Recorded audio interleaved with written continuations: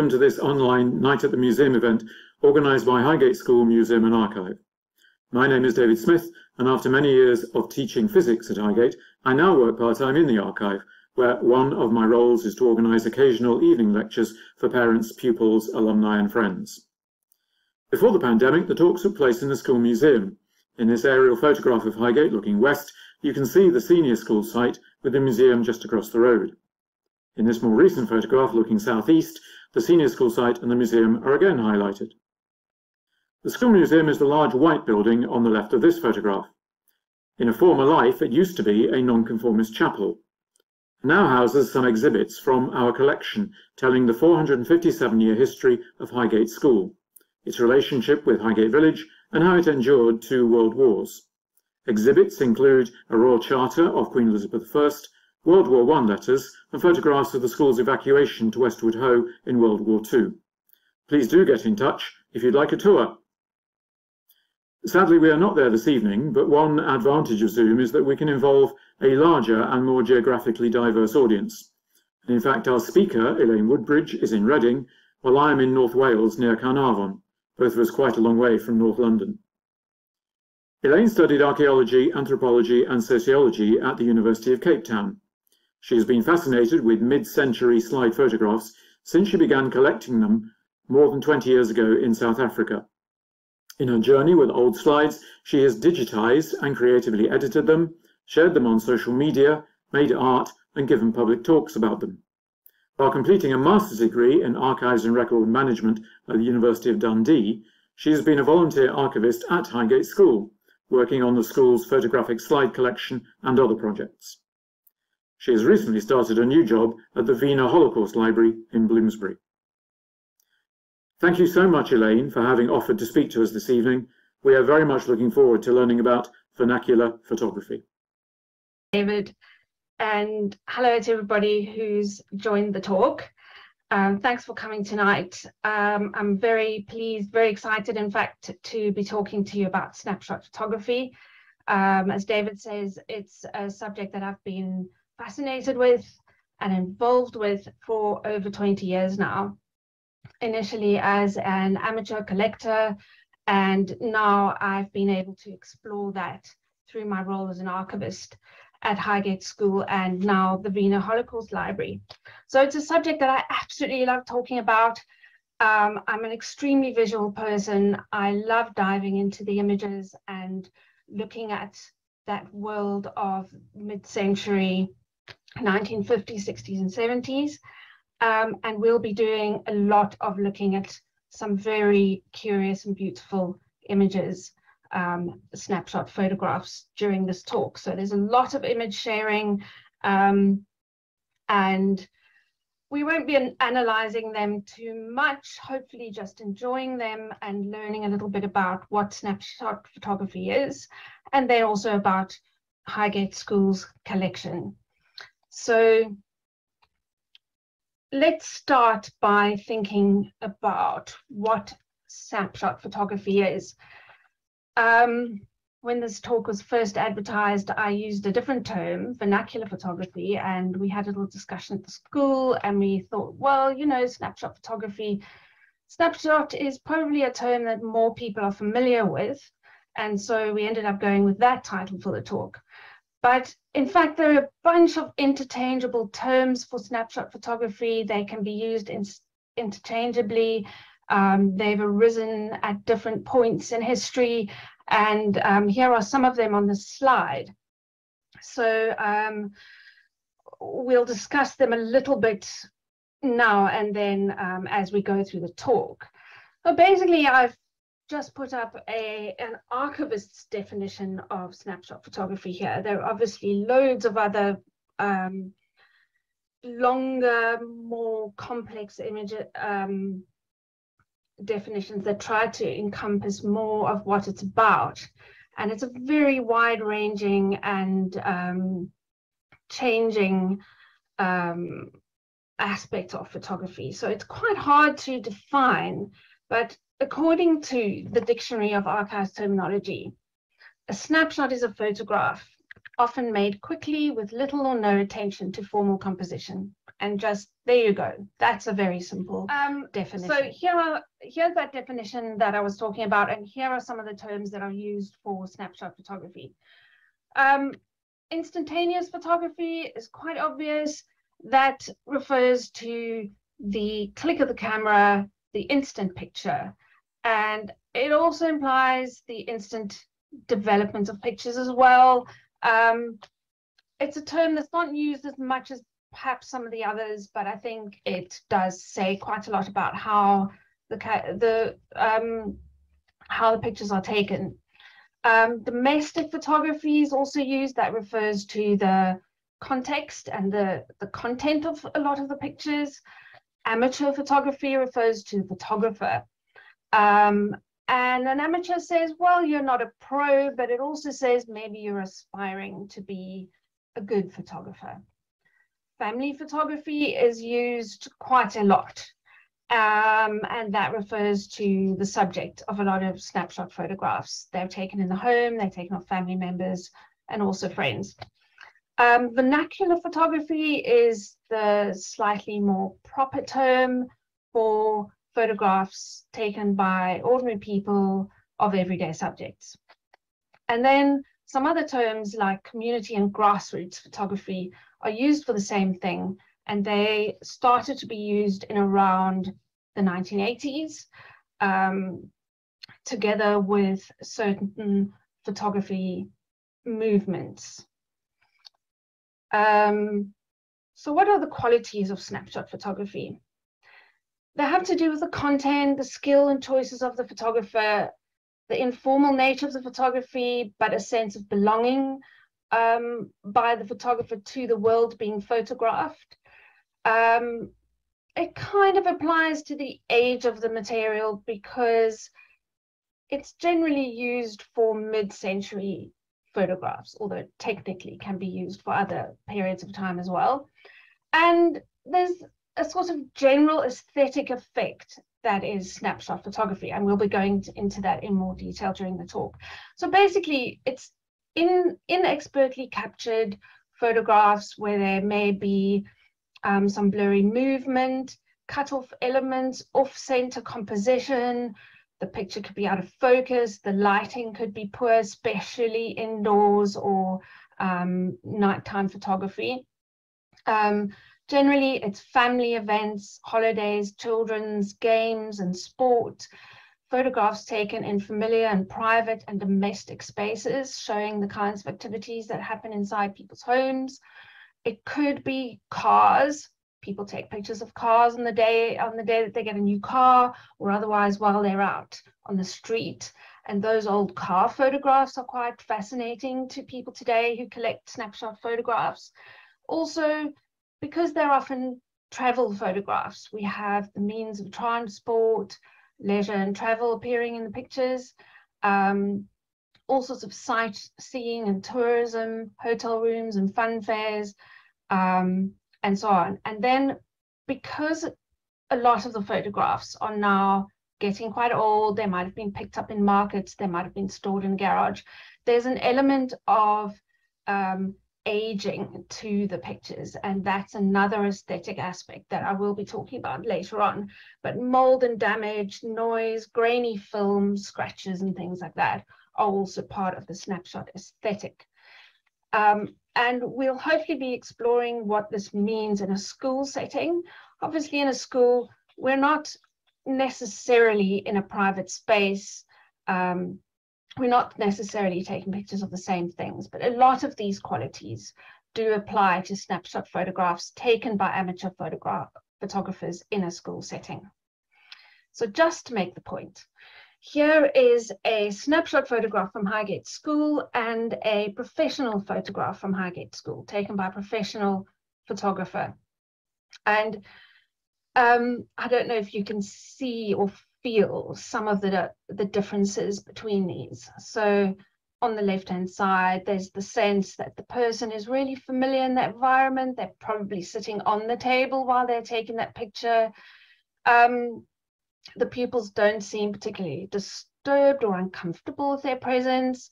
Um, there's no, there's been no tidying up of the mess. Um, one of the pupils has got the apron sort of hanging off untidily.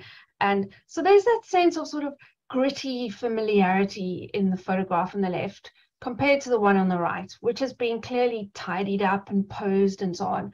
So hopefully this um, demonstrates some of the qualities of snapshot photography and perhaps why they are so lovely. Um, now, there are lots of different ways to think about snapshot photography, and sometimes all of this gets merged together, and it's nice to separate it out so that you know what you're thinking about at different times.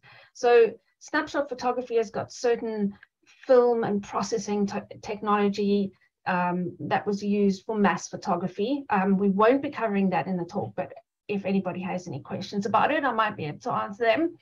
Um, they're the products of snapshot photography, and those are the actual prints and slides, and also there are the tools used for making those products.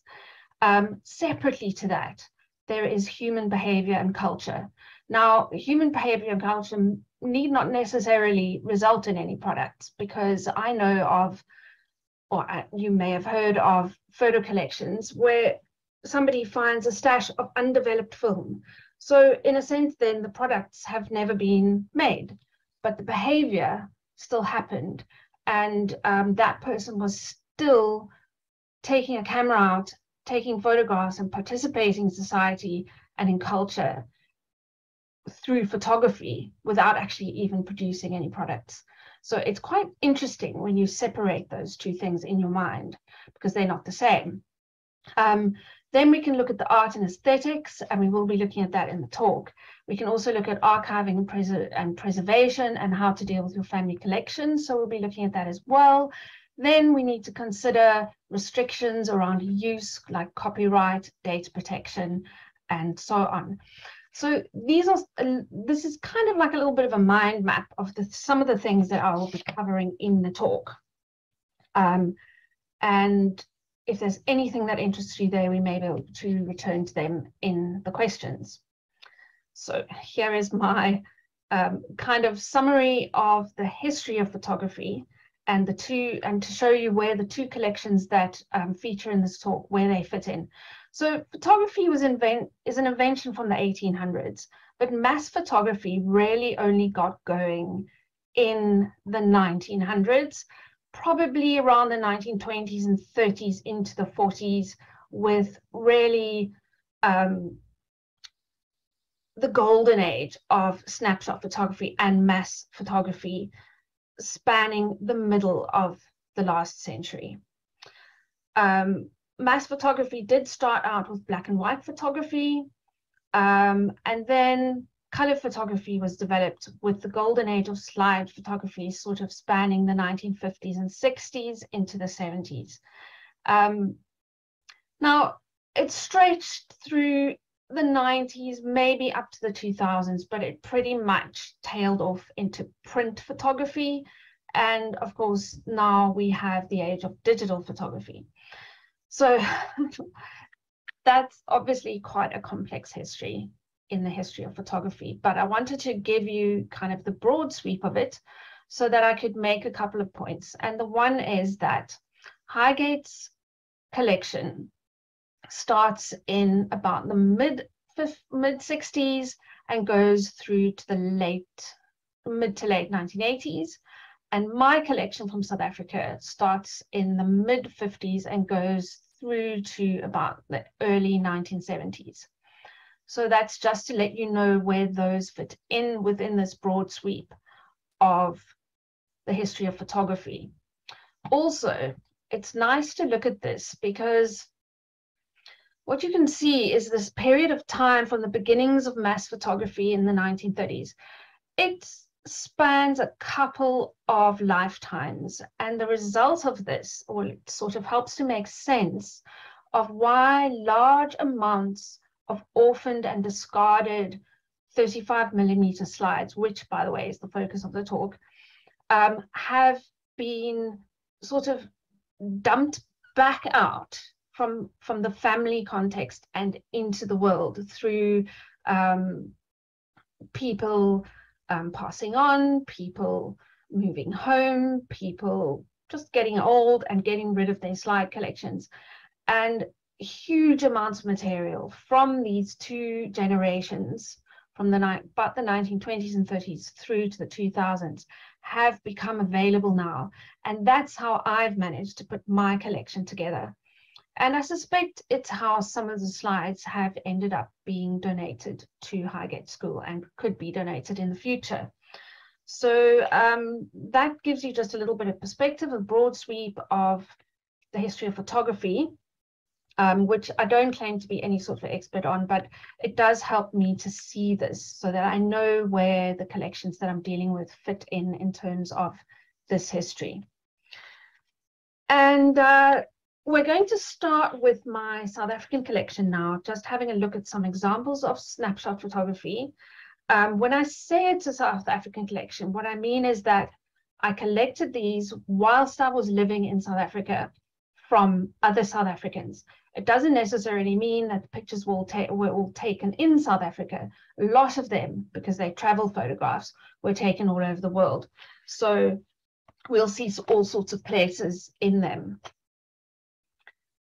Um, and hopefully they'll demonstrate to you some of the qualities of snapshot photography. So I'm just to get your eye into looking at images. I've just started with a, a sort of odd one and snapshot photogra photography is full of all these sorts of odd images. You've got somebody slightly airborne. You've got people cut off on the side. It's a weird composition. You don't know where this is, but it's got that kind of grit that makes it interesting. Uh, this is one from the 1950s in the USA. Um, it's a street scene, it's crowds, it's not the best composition. You've got somebody with a weird face cut off on the on the right hand side, but it's that kind of mid-century world that's really, really interesting and gritty in this photograph. Um, a street scene. I absolutely love the car with the crushed uh, dented in front there. Some of these street scenes can be really, really serene looking and interesting to compare to today's streets that are full of advertising. Um, it's really interesting to see what streets looked like in the mid-century period. With streets comes um, crowds and people and street photography. Um, this is a, a really amazing image image. Um, it's got lots of gritty detail in it. It's got the texture of clothing. I love the shoes. I love the suitcase. There's lots to look at there. This one, um, I like the movement of the water and the way one man has been caught perhaps lighting a cigarette. There's somebody walking and, and a group of men standing together. You've got all the movement of the water. It's a very odd composition, but it somehow works extremely well. This one is um, a South American um, tourist on in London on holiday, and um, this is from a collection. It's really interesting to see how um, this group of friends kind of dressed and remade themselves for their their trip in Europe. Um, here's more travel in Europe. Um, what I like about this is clothing of the of the era and and also it's so different to today where everybody would probably be on their mobile phones um, and here everybody's standing and listening to a talk probably um, that sort of domestic fishing scene um, and two friends caught chatting. This one, an odd composition with a child running in the background. Um, we've got passenger boat travel, funfair, and somebody caught sleeping on the train. I love that gritty area on the right hand side. Um, and this is a lovely sort of snapshot of people traveling and on the move. And here we have um, a road trip. This one is taken in South Africa. Suitcases on top of the car, just held on by a couple of ropes. Um, children playing in the outdoors in South Africa. And wedding photographs are quite common as well. I really love um, bride's little crown on the right. And I also like the way the picture's being composed on the left, very carefully, trying to incorporate so many elements, including probably, I think, the groom in a photo frame on the dresser there on the left. This is probably my ultimate favorite and best example of a snapshot photograph. Got all the weird cut off elements, and you've just got that moment in time captured. It's a domestic scene, it's private in a sense, although here we have it on the internet. Um, and it's just got all that movement in it. And I think it's just an amazing, compelling photograph. I love looking at it. This is a Sunday roast in the outdoors in South Africa. Um, so capturing those sort of traditions in the way they're done quite formally in the mid-century period. A couple of uh, university student friends. This is actually in near the University of Cape Town, and um, they're just there in the Fynbos, which is the, um, the floral kingdom in the Cape, um, taking photos of each other. This is um, Spotty Dog, um, a bit of vernacular architecture in a vernacular photograph. Um, this building is famous to, to a lot of people in South Africa, and my found photographs of um, Spotty Dog get a lot of attention. This couple, um, I really like them. They've taken some amazing photographs. I love their collection. And the, these sort of quiet sitting pictures um, just capture the atmosphere of their home life and I think are really beautiful. Um, this is the same man and his child, and the child at home sleeping on the couch with a comic book.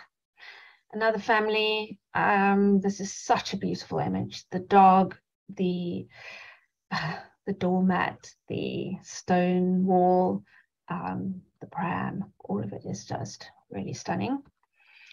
And this kind of domestic scene. Um, you know, it's got very poor lighting, but it's just, it's absolutely captured that's right in the heart of the, of the family home. Outdoor games, um, all the movement in this picture, all the fun and the, the kind of family feeling is just amazing. Um, and, you know, this is a beautiful example of what snapshot photography can capture in that frozen moment. Um, a couple more frozen moments. and this I absolutely love how that woman is behind the tree. Might not have been a good composition, but I think it's just absolutely fantastic. And then these means of transport, that's a, a Johannesburg street scene at night, um, a bus in Cape Town. Um, and this tea party, another domestic scene that I absolutely love. And ending off with this picture of a car and it's really quite a serene picture. It doesn't quite have the snapshotiness of some others, but um, I think that the sort of banal nature of some of some snapshot photographs is is is quite beautiful as well. So now that I've shown you all of those, I just wanted to say that they are all edited and enhanced from the originals. So I do work with and I do like to share edited and enhanced photographs. And you know, I've tried to summarize here for you if, if anybody's interested, my process. So after receiving um, a photograph either as a, a, donation or a found photograph or I've been paid to do it, I'll do an initial assessment and think about the aesthetic aspects of the picture. I may, I may need to clean up the slide a little bit if necessary. And then I'll go to digitizing it.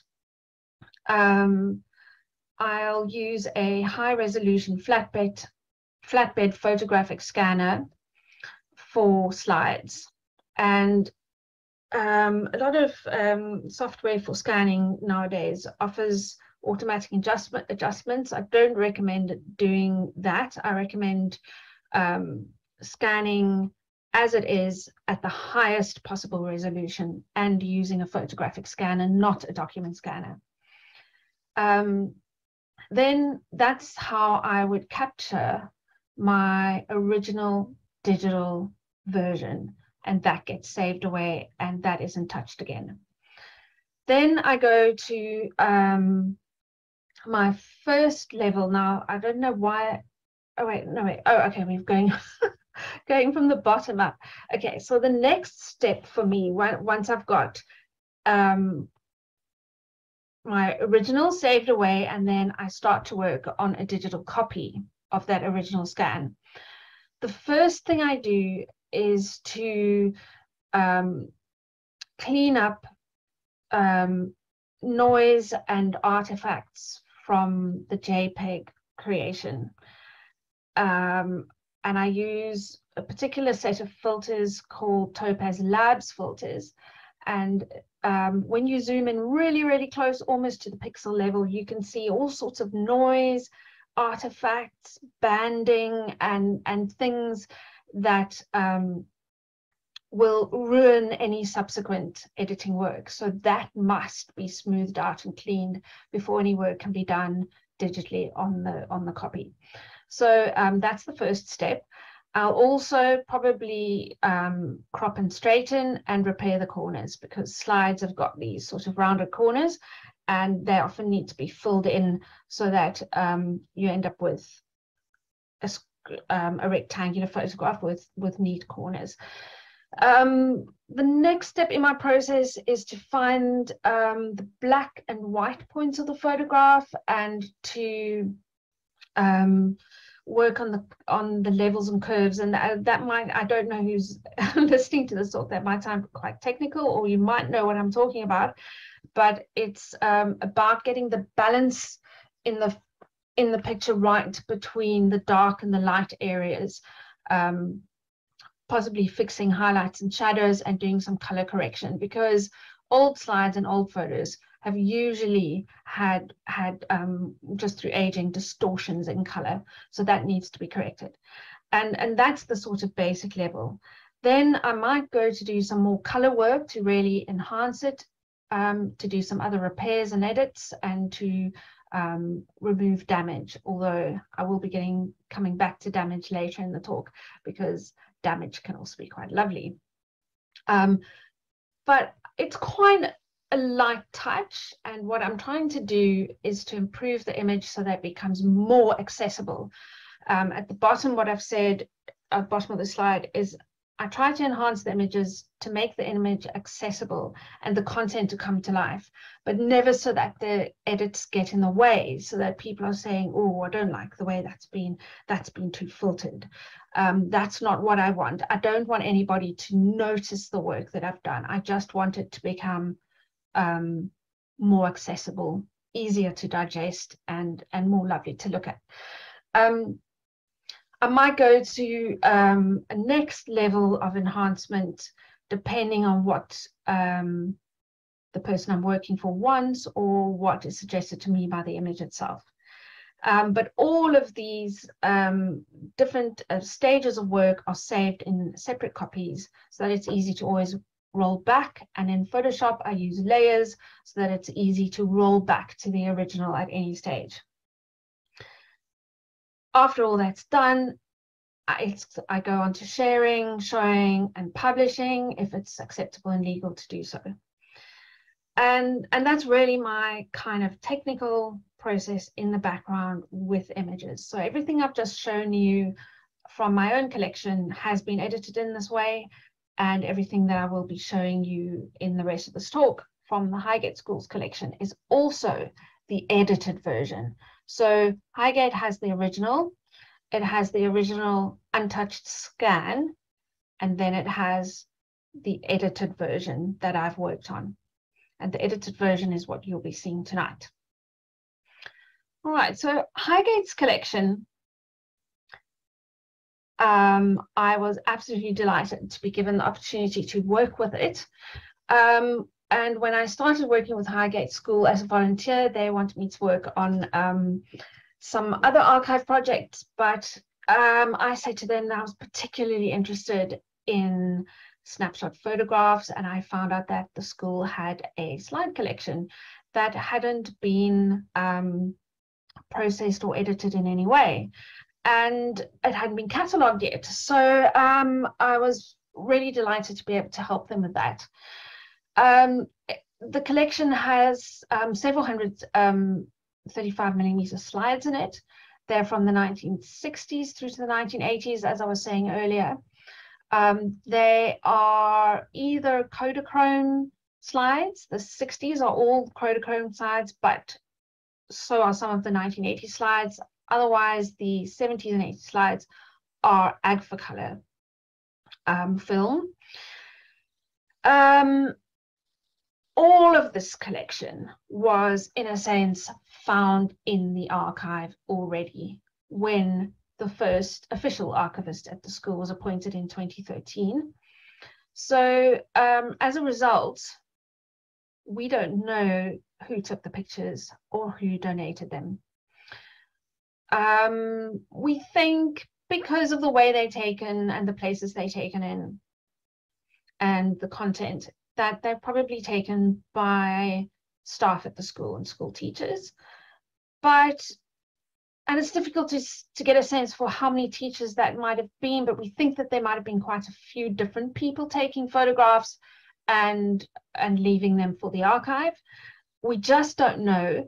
And um, if if you're listening to this talk and you might know who took some of the pictures, if you have any idea or any suggestions for us, or you actually know who who those people were, we would love to hear from you because it's really important that we have that information, um, that we understand where the the photos originated and who took them and why. Um, so this collection has now all been digi digitized um, and catalogued, and that was the volunteer project that I did for, for Highgate School. And um, so now that means they're all findable and usable by the archivists and, if appropriate, by um, researchers who want to access the collection. I talked to um, Julia Hudson, the, the school archivist, and she said that um, the value of this collection to the school is that it adds to their knowledge and their picture of the school in previous decades. Um, that it's useful for the estates department, which has questions quite often about the history of buildings. Um, there are lots of pictures of buildings that have been captured in this collection of slides. Um, and that it's valuable for engaging alumni of the school um, it helps to bring back memories, it inspires writing, and it encourages more people to bring their photographs to the school and donate them to the school. And then, of course, it also helps to tell the history of the school to current pupils and the current community of the school, including parents. Right, so let's have a look at some snapshots from Highgate School's collection. First, as mentioned, we have some pictures of buildings. Um, this is um, this is the side of the chapel, and I'm not quite sure what all is in that image, but I I love the the huge and solid sense of that um, building. It's a snapshot because it's got moving cars in it it has been well composed in a sense. It's it's grainy and blurry, um, but I love those lights at the back of the cars. Um, it's it's just beautiful, and it's it's the it's the school buildings, the school environment. Now, this is not a building that's changed a lot over time, but I think it's nice to see that solid building um, in another decade as evidenced by the cars. Here we have a derelict swimming pool at, at the school. And I'm not quite sure what's happened to the site, but obviously it was in a state of transition or decay at the time that this picture was taken. Um, the pool on the right is not the same one, but I believe that building may also have had some changes to it. Um, I don't necessarily know the details of exactly what's happened, but um, to these buildings, but these are all taken um, in the 1980s, and they have preserved what those places looked like at that time. Here we've got um, some cars parked outside the school, and we've got the main entrance to the big school there. And right above that is a um, a crest, which I believe was taken down when some um, renovations were being done at, at some point and it disappeared. So that is a piece of the school that the school no longer has. And here we have it captured in some photographs. Um, we don't know where that is now. Um, we've also got lots of pictures of construction sites.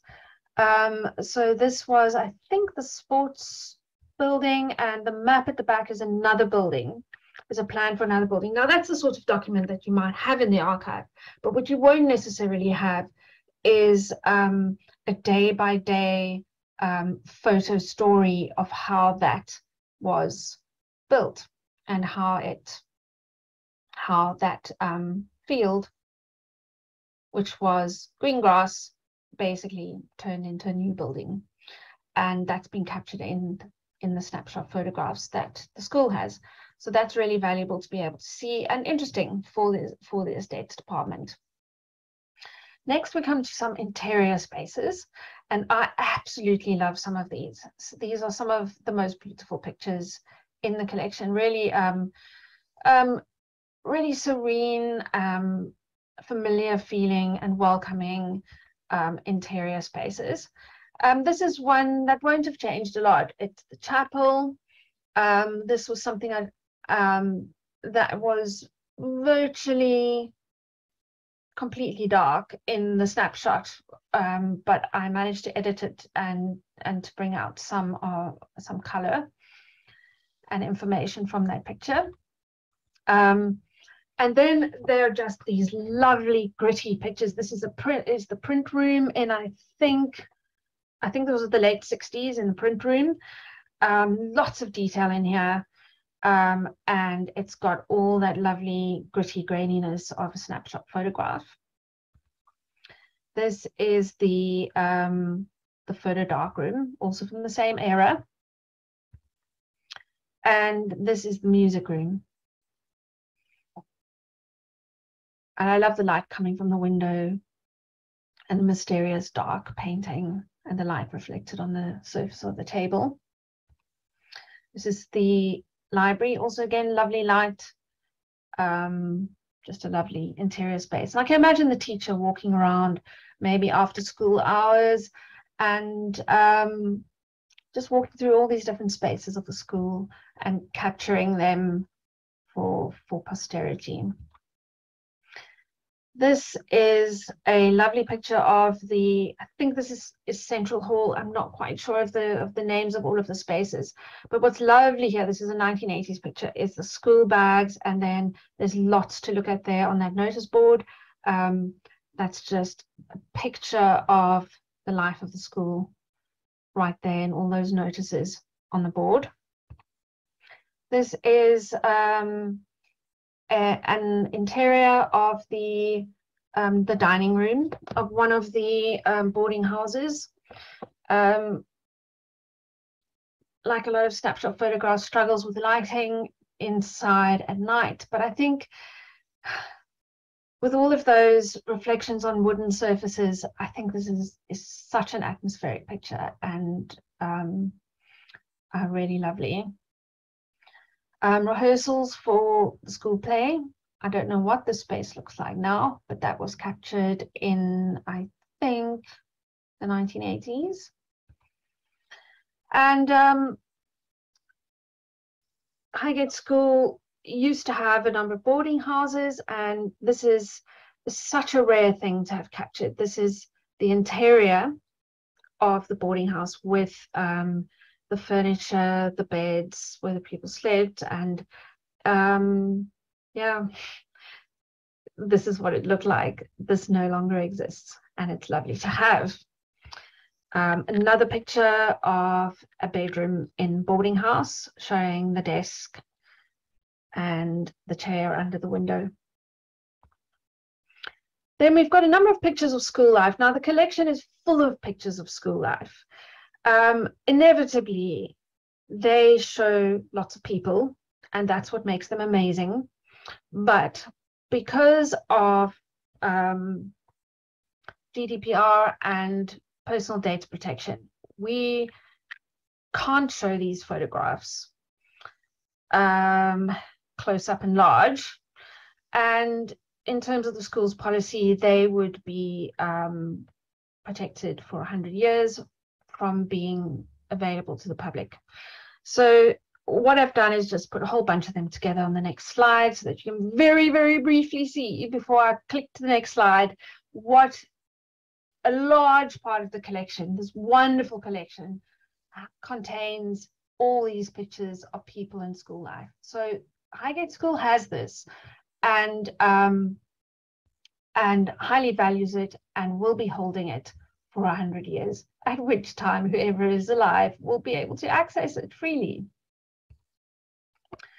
Um, some other things I can show you are some surprising and illustrative details um, of those other decades um, that we have in the collection. So this is a behind the curtains on the stage, um, the band set up getting ready to perform at the school concert. There's lots of interesting detail in that. Then um, also um, 1980s, we have some um, images of the kinds of computer equipment being used at um, very, very early computer um, era, digital era. I'm sure some people may remember having these kind of, this kind of equipment around. It's it immediately communicates about being a different era. It technologically is so different to today. And then absolutely fascinating. I think there's that. I'm not sure if it's quite the same notice board as the as the other image um, a few back, but here's another notice board on the right. I love the fact that a teacher has gone around and captured what was on the notice board on a particular day. And, um, you know, it's like a, a day in the life of Highgate School um, and what happened to be on the notice board at the time. So that sort of detail is, is really lovely to have in the collection. We've also got these um, of masters um, marking some of the work um, and that's also um, lovely kind of detail. All in the analog on paper world. And this is one of my absolute favorites that I wanted to share with you. This is the War Games Club. And you can see um, on attached to the to the vertical sticks are little aeroplanes. And on the floor are with masking tape are um, front lines and things drawn and and this is the war war game what did i say war games club? I don't i'm not quite sure what they were called. But anyway this is this um is what what children used to do before they had computer games. And um, this is them busy um um, playing with war strategy and, and maybe actual World War II battles. I don't know. But this is a fascinating image because of what it captures of another time. Not that long ago, actually. All right, now with some of the school's slides, I did get a little bit creative. And that was because they really suggested to me that they could do with some creative treatment. And this is one of them. It has, it's for, it was, you can see the original on, on the bottom right. And, and um, this was really sort of blown out white in the middle of, of the picture. There, there really was hardly a face on the person in the middle, um, but with a bit of creative editing and um, this sort of um, brown sepia um, treatment, it manages to bring more details out and it sort of suits, I think, the um, the dramatic setting, the drama and stage setting of this. And there are a few more over here.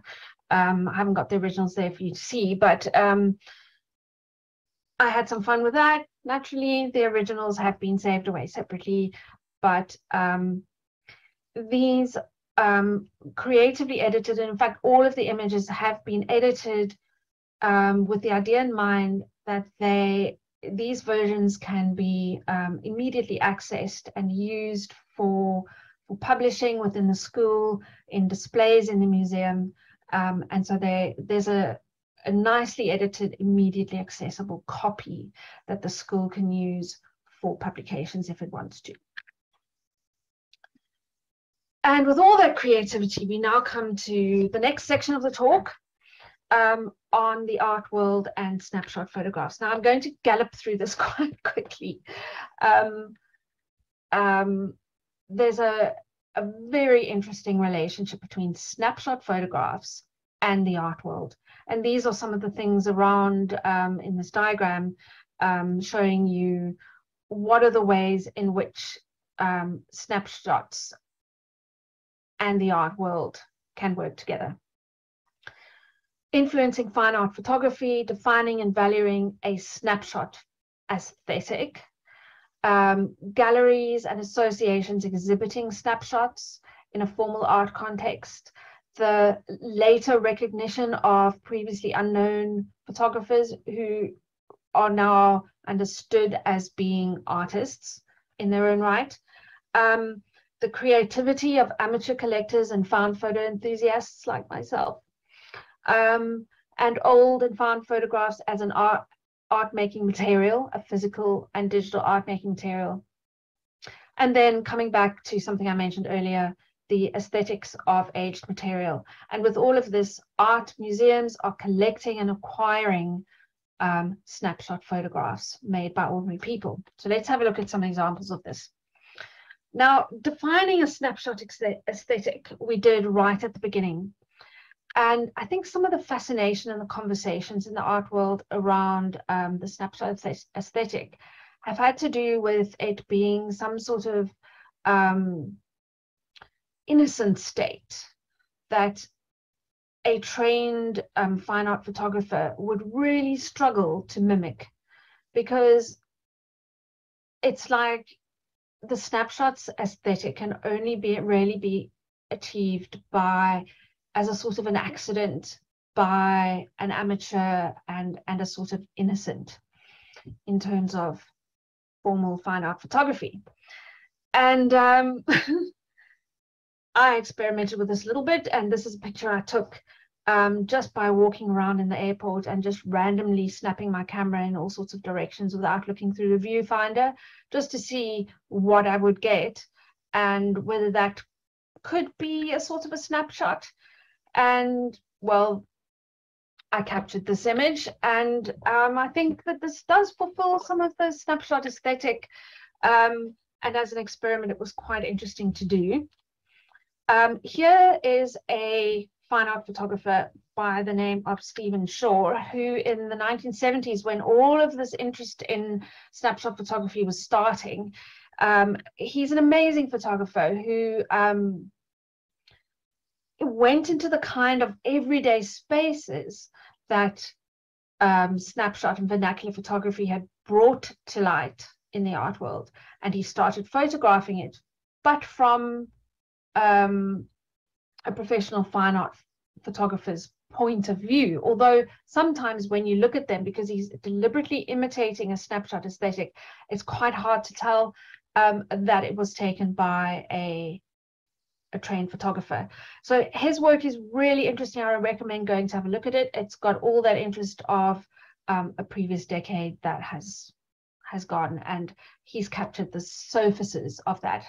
Um, and his some of his work is called American Surfaces. He's captured that in his work, and he's been heavily, heavily influenced by this interest in the snapshot aesthetic galleries exhibiting snapshots. There have been multiple um, exhibitions. I, I, would have to say that the USA has led in this, but um, galleries, serious galleries, um, exhibiting and collecting snapshot photographs. And here's an example of an exhibition like that. So all of this has been happening. A lot of it with found photographs, a lot of it with photographs that have been um, sort of dumped out into the world that are no longer in their original family context. They've been picked up and found, and now they find themselves being exhibited in formal galleries. Here's an exhibition that I put on with some of mine, um, and this press photograph on the right hand side of somebody sort of really getting into some of the images. Um, I had two small exhibitions in 2013 in Cape Town. Um, this is a snapshot that I entered in and was selected for an, an online exhibition by Lenscratch, which is another interesting um, photography organization to have a look at. Um, people eating, it's quite heavily edited, um, but it basically is a snapshot photograph that was selected for an exhibition on people eating for at around Thanksgiving time in the USA in 2014. Then uh, I don't know how many people have heard of Vivian Maier. She um, is a photographer from New York who photographed New York in the 1950s. She was a nanny. She went around the streets of New York with children or on her own, and she snapped photographs, and she was brilliant. And in fact, I've just learned that there was an exhibition of her work in Milton Keynes. I forget the name of the gallery. Um, just just recently in the last few months, and it's the first time that Vivian Maier's work has been exhibited in the UK. So she's an example of the the fine art world changing its mind around um, photography, getting fascinated with the snapshot aesthetic, and recognition coming to people like Vivian Maier posthumously. Then um, snapshot photographs, physical prints have become a material for art making in, in the art world, um, from collage to um, all sorts of all sorts of very interesting work. A lot of it somehow involving stitching. And then one of my absolute favorite artists, I don't know how to pronounce this, Kensuke Koike, uh, is a Japanese artist who does um, dynamic physical moving things with um, cut um, portrait photographs and and and, and other vernacular photo photographs. Um, his work is amazing. I recommend having a look at it if you're interested in um, seeing what can be done with physical photographs in a in a highly creative way. So art making, um, and then there's an entire community of people who are amateur collectors who collect found photographs and share them on Instagram. So in blue there, you don't have to read all of this, um, are some of the names of these Instagram accounts. And I think it can be really, really interesting, even if you just pick up one or two of those names, to see um, the sort of flavor of what they're about. One of my favorites down at the bottom right is Dead Men I'm in Love With. And that person just shares images of um, men, interesting looking, and in, in, curious sort of poses or circumstances with with curious expressions on their faces or whatever. Um, that's what they specialize in. But each of these accounts is collecting from amongst this sort of um, swirling um, body of photographs that have been released into the world as people have passed on and got rid of their collections and they've been picked up through family they've been picked up through by word of mouth as has happened with me um, market stalls junk shops and so on so um, there's quite a rising community of people working with this material. And just in terms of where that can all possibly go is one example, Project B Photos is based in the USA. They've published um, a number of books on different themes within um, vernacular photography. And um, I've just heard that their entire collection has been bought by a serious art museum in the USA. So um, that's what can potentially happen um, around building a collection with uh, eventually. That is um, down on the left hand side. Mrs. Wu 2 is my Instagram name if you want to have a look at some of my mid century South African snapshots on Instagram. So that's a creative community um, who are all working with found photographs and slides from the mid century period. Now, I said I'd come back to damage because I've had quite an interesting time with damage. And here are some slides showing the sort of really terrible mold that you can get on found photographs. And um, there are all kinds of um, molds and and damage that can develop on slides, especially when stored in poor conditions. I won't go into that in much detail, but I'm going to focus on damage from an aesthetic point of view now. Um, here is a slide of a rodeo that was quite badly affected by mold and some sort of cracking effects. I think instead of putting this aside with a bit of a sepia treatment, the um, the damage has an aesthetic that talks about the age of it, and it's it's really beautiful to look at and evocative.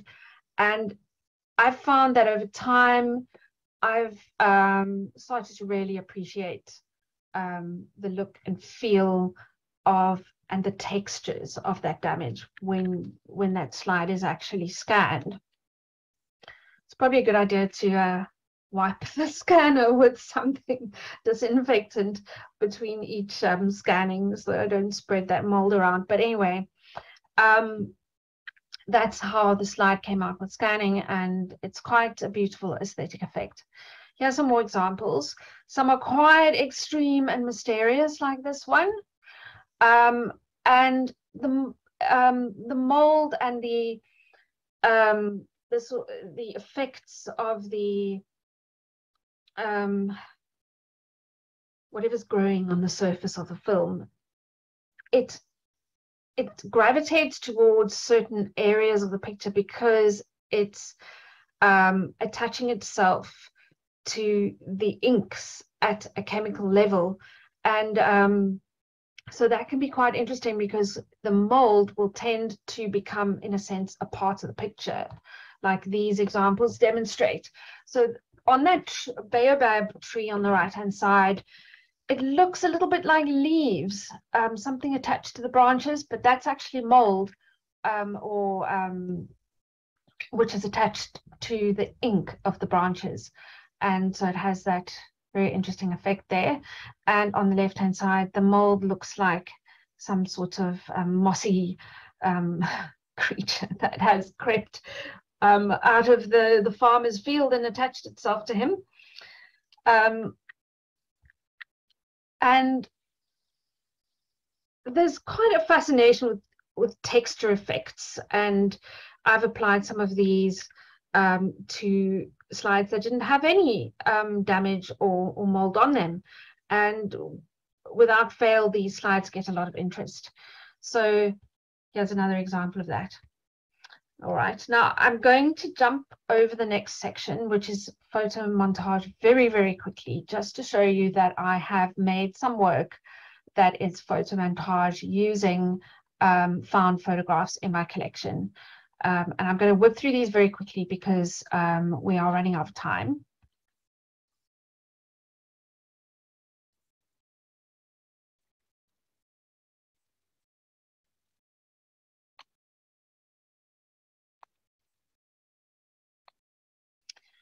All right, so what can all this creativity mean for Highgate School? Now, in the archives world, um, there are some very interesting collaborations between archives designers and artists and um, using the aesthetic of the archives and materials and content in the archives for creative projects. So I do think that there um, is potentially some possibilities for exploring um, the school's photo collection um, in the art department. And Julia and I have talked about this a little bit. Um, it's something that I think the school could possibly explore if um, can find um, time to do that around the curriculum. Um, it's it's potentially quite an exciting area. All right, now just briefly, snapshots as evidence. So we've looked at some fun things, we've looked at some creative things, but now let's just pause and think about snapshots as evidence around some more serious subjects um, because they are a valuable and authentic record of the past. And the four examples I will um, show you briefly are images of Syria and Damascus, which has changed radically since the early 1960s, and we'll go to that straight away.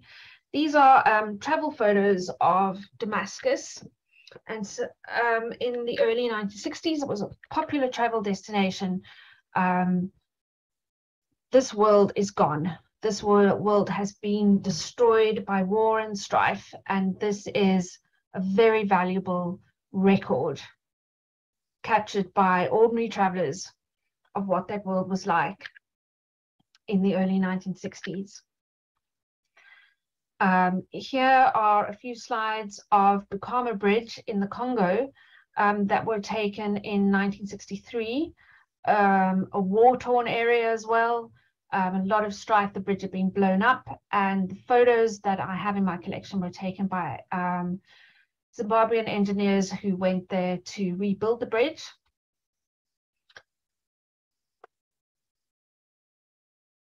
And these dignitaries um, who were there to open the bridge, this is a moment in time um, during a highly volatile period in the Congo.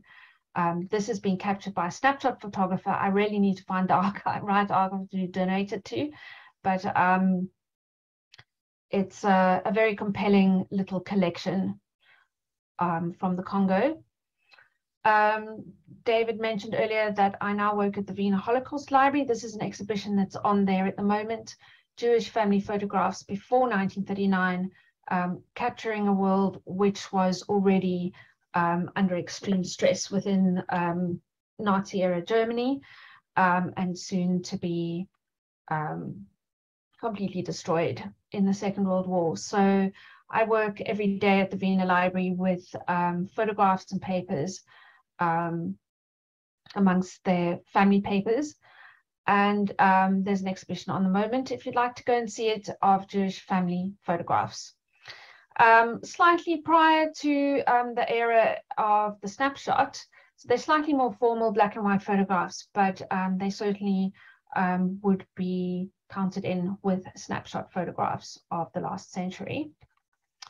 And then coming back again to Highgate School buildings, Julia said to me that um, these are great because they show what these buildings were like inside. And without them, we just wouldn't have that view anymore.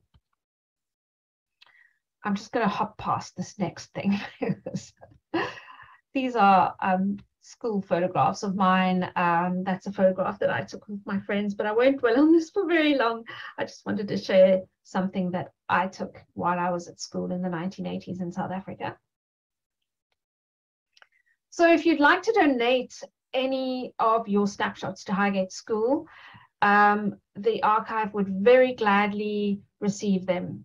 Its collection policy is to take snapshots by pupils, parents, teachers, and the community, anything about the school. And if you want to donate your slides, just get in touch with the archivist and records manager, and there's some contact details for you. And if you happen to be a South African who has some slides that you would like to donate to me, you would also be able to do that via Highgate School, and I would very happily have them. So I did want to talk about storing and taking care of your own slide collection, but um, I don't think we have time. So I'm just going to leave the slide here so that you can come back to the recording on YouTube and have a look at some of these points here. And um, of course, if there are any questions afterwards that deal with this, then I'll happily answer them as part of question time. But um, this just briefly is a slide dealing with my advice for people who have their own slide collections um, to to deal with. And here are some more things that you might want to explore, things I've mentioned in my talk. Um, and you can also come back to the slide later if this is a subject that you'd like to explore some more. Um, I wanted to talk about snapshot photography today. We've also run out of time, but um, I think it's pretty obvious how we're still taking snapshot photographs, but it's very different to how it was um, in the 1960s, 70s, and 80s with completely different technology and behaviors and culture around taking photographs. So that's the end of the talk. Um, this uh, image is actually from um, a slide that somebody used to end their slideshow that they would have given in their lounge back in the 1960s.